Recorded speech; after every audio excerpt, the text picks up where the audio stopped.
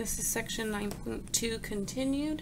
So we have example 4, find the sum of the convergent series. So what we need to do is, um, we kind of want to follow the same pattern that happened in example 3, but in order to do that, that means we'll have to come up with two fractions like they had in example 3.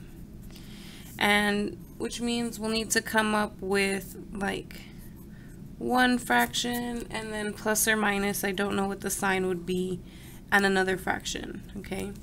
Typically we want a minus here so that that way the same kind of thing happened in the last example where items are canceling or reducing.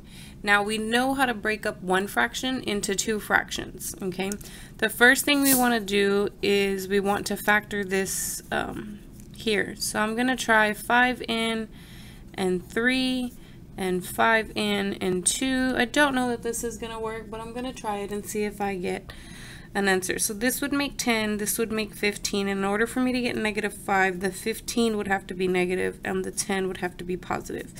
So then this would be 5n minus 3 and 5n plus 2.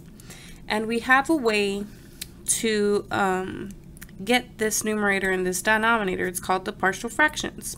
Uh, so what we're going to do is we're going to take 6 over these two denominators and solve this equation which will result in a system of equations that we can solve for a and b. So if I multiply by the common denominator to each fraction, I'll end up with 6 equal to 5 in a plus 2a and plus 5 in b minus 3b.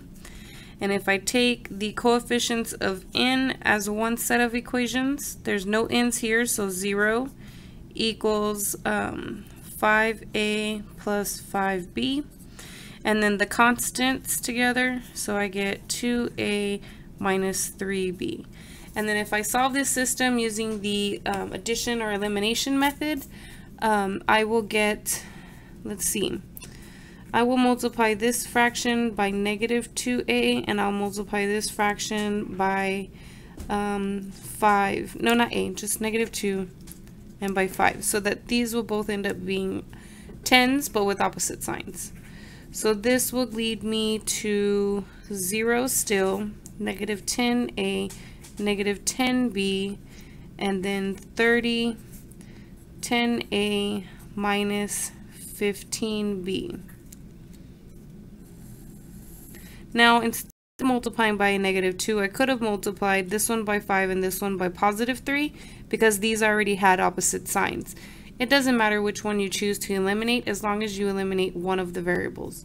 So here I end up with um, 30 equal to negative 25b, which means that b equals 30 over negative 25, or if I simplify that, negative 6 over 5.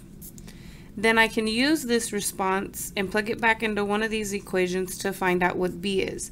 So since this b is being multiplied by 5, I'm going to use it because that'll get rid of my fraction. So 5a plus 5 times this would just be negative 6. And then if I add 6 to both sides, I get this. And if I divide by 5 on both sides, I get that A equals positive 6 fifths. So my, um, my summation there, my um, series will become 6 fifths over 5n minus 3 plus, or minus actually, minus 6 fifths over 5n plus 2. Now I can factor out that 6 fifths and factor it completely out of the series so that I just have 6 fifths times this series.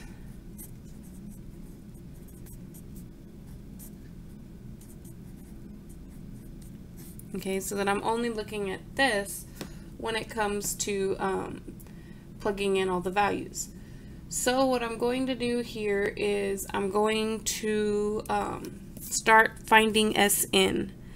So Sn is going to be for n equal to 1.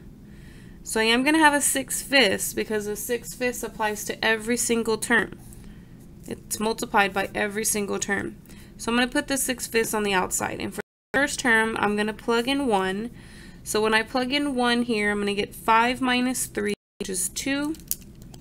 And I don't want to write this big because I am going to have to fit a lot in this line.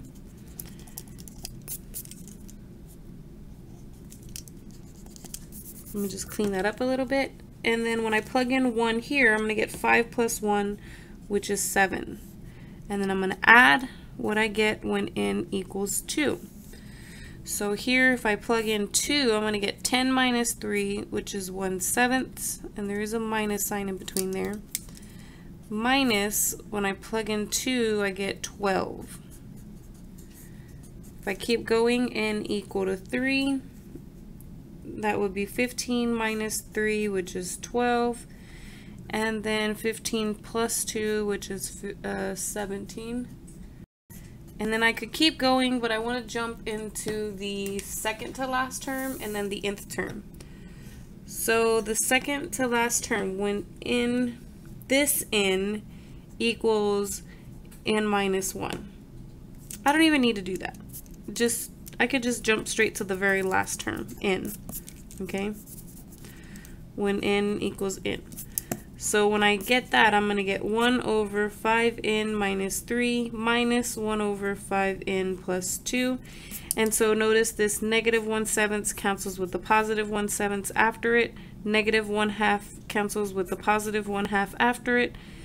This negative 1 seventh will cancel with the positive 1 seventh afterward. And this positive um, fraction will cancel with a negative 1 before it. So what I'm left with is 6 fifths times 1 half minus 1 over 5n plus 2. And so then if I take the limit of this um, series here, we'll see what we end up with.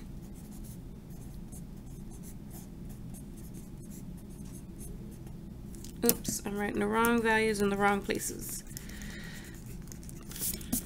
You have to be very careful. This happens all the time to everyone, even the best of them. So you just have to make sure you catch it so you can correct it.